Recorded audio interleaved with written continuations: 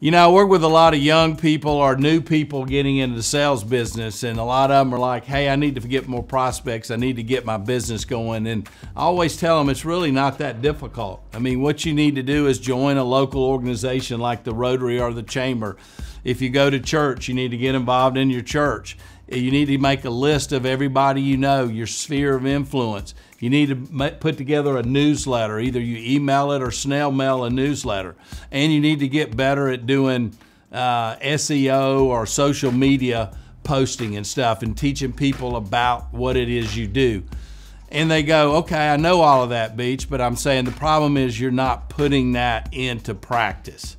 And so, what you need to do in order to grow your business is take those ideas and put them into practice. And you just need to do one at a time. Do one, get good at it, get good at doing a newsletter. And when you're good at doing the newsletter, then add the social media. When you're good at doing the social media, then go join the chamber.